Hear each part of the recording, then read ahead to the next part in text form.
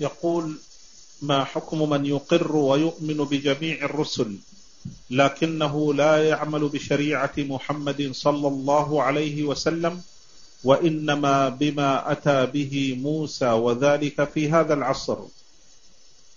بعد بعثة محمد صلى الله عليه وسلم نسخت الشرائع. حتى قال صلى الله عليه وسلم لو كان أخي موسى حيا ما وسعه إلا اتباعي.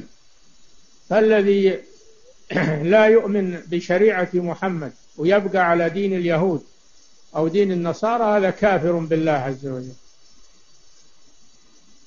قل يا أيها الناس إني رسول الله إليكم جميعا. وذكر عن اليهود والنصارى أنهم يجدونه مكتوبا عندهم في التوراة. يجدون محمد صلى الله عليه وسلم مكتوبا عندهم في التوراة والإنجيل يأمرهم بالمعروف وينهاهم عن المنكر. ويحل لهم الطيبات ويحرم عليهم الخبائث ويضع عنهم إصرهم والأغلال التي كانت عليهم فالذين آمنوا به وعزروه ونصروه واتبعوا النور الذي أنزل معه أولئك هم المفلحون. أما من لم يؤمن به ولم يتبع النور الذي أنزل معه فهو كافر.